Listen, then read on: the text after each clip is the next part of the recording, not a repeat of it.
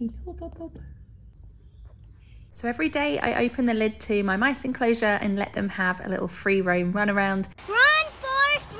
Run, Forrest, run! Houdini is so hilarious. She's the one that really likes to get out and run around. And Billy, Billy is a great escape artist too. I think she must have learned things from Houdini because every time I bring them out of the enclosure, Billy will find a way to escape the playpen and she runs across the living room and she hides under the cupboard and then eventually she'll come back round. Hello, Houdini. Hello. You guys are meant to be sleeping.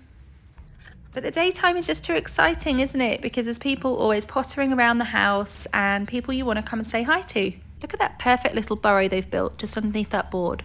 I actually put less bedding in their enclosure this time than usual and they've absolutely loved it actually because they've had more climbing space upwards but they've still got enough bedding that they can still make all of their tunnels and burrows underneath. Oh, hello Crumble. She's having a little relaxo maxo by herself. Boo, hello. Let's go and see Bramble and Bob. I have some exciting news. So I decided not to get Bob neutered because I'm not sure on his age and I didn't want to put him through that operation. But I don't want him to live out the rest of his life on his own. Look, so sleepy.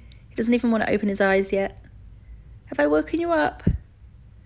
But I moved Bramble into Bob's enclosure so that he could have a playmate. And yes, that does mean that they're going to have babies, but I think that's quite nice that Bramble's also going to get to be a mommy. And if Bob gets to be a dad, he's going to be the best dad ever because you are so placid, aren't you? He's such a chilled out mouse.